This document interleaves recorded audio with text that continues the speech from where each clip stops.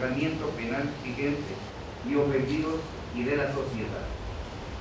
Sin defecto de los principios, ha sido una de las políticas esenciales que orientan la función de procuración de justicia, ha precisado desde el Plan Estatal de Desarrollo 2011-2016 mi agradecimiento y lo externo a cada uno de los integrantes de este departamento porque el curso que ahora concluido avanza esta pauta institucional de profesionalización y alta capacitación.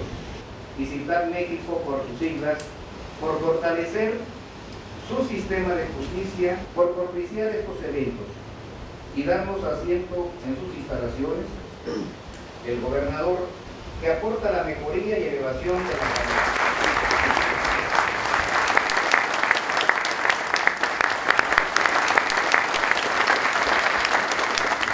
Trapiña Coronel Fabiola.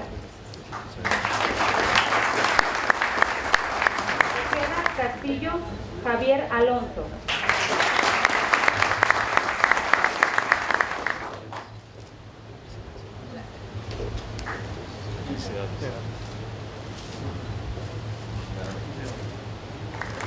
A continuación vamos a escuchar unas palabras. estándares internacionales, conjunta con ustedes. Les deseo toda clase de éxito en sus carreras y espero que sigan por la senda de la superación continua. El gobierno de Sinaloa manifiesta su reconocimiento a la voluntad y el compromiso del Departamento de Justicia de los Estados Unidos, porque con estos cursos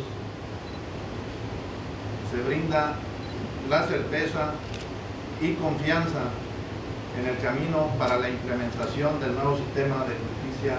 Han desarrollado, potenciado y acrecentado las habilidades que ustedes ya poseían. También agradecemos a los instructores del CITAP. Declaro formalmente concluidos los trabajos de este curso, que sea para bien personal, para bien de Sinaloa y para bien de México. Muchas gracias y felicidades a todos.